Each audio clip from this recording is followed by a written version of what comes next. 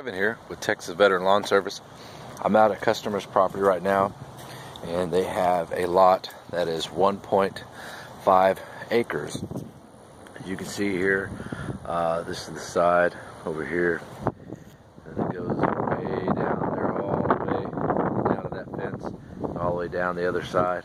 So um, went ahead and mowed all that. Oh, and then outside of the fence from one end here all the way down to the other end of that pipe fence. It's about uh, 550 linear feet.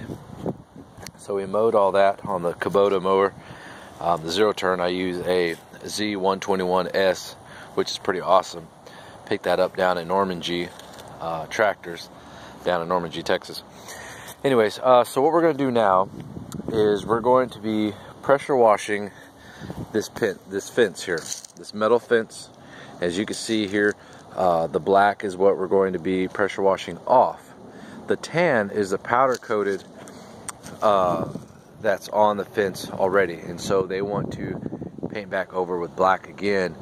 Uh, what they used the first time was uh, no primer and a water-based paint. So this time we're going to use a Rust-Oleum uh, oil-based paint uh, for metal, and it will have. We'll go ahead and prime the fence first. So what we're going to use to pressure wash is the Troy-Bilt Flex system with the pressure washer. Uh, this system is pretty awesome. It's 3,000 psi, uh, 2.5 gallons per minute. Um, so it's, it's, pretty cool. Uh, this job uh, normally requires a couple people, but um, I work by myself 99.9% of the time. So any time I go out and do an estimate on a job, uh, I'm calculating the time that it takes to do it, and um, I don't take on the job if I don't think that I can do it 100%. Oh, excuse me, 100%. Okay, here's the outside of the fence there, all the way down, all the way down there. It's pretty long ways. So uh, as you can see here, it has these little uh, gold tips up here, and um, there we go.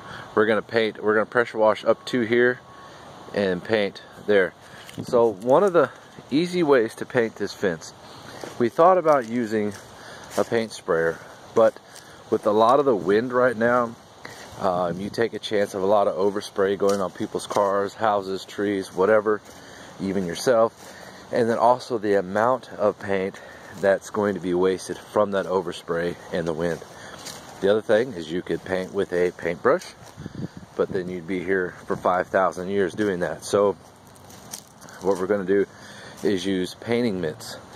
Uh, you put it on like a like a just a hand mitt, like a softball mitt, baseball mitt, and you dip your hand in the paint. Here's the other side of the house that uh, goes down all the way to that corner. So we piled up all those leaves right back there um, I know it's hard to tell because it's not focusing in.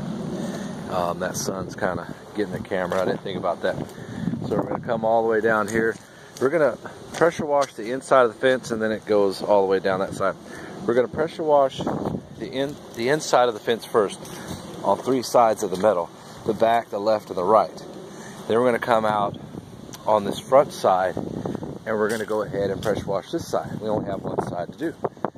Um, so it's time consuming, but I'm using a, I tried the 40 degree nozzle tip. It did pretty good, but I dropped it down to a, I think it was the 15, or no, uh, 20, the 20 degree nozzle tip, and uh, that one worked really well. Um, it's all the same PSI, it just has to do with the degrees of spray. So, anyways, uh, so we'll get this fence knocked out today. I should get it all done today. Um, I was able to do those three and a half panels there yesterday in about an hour.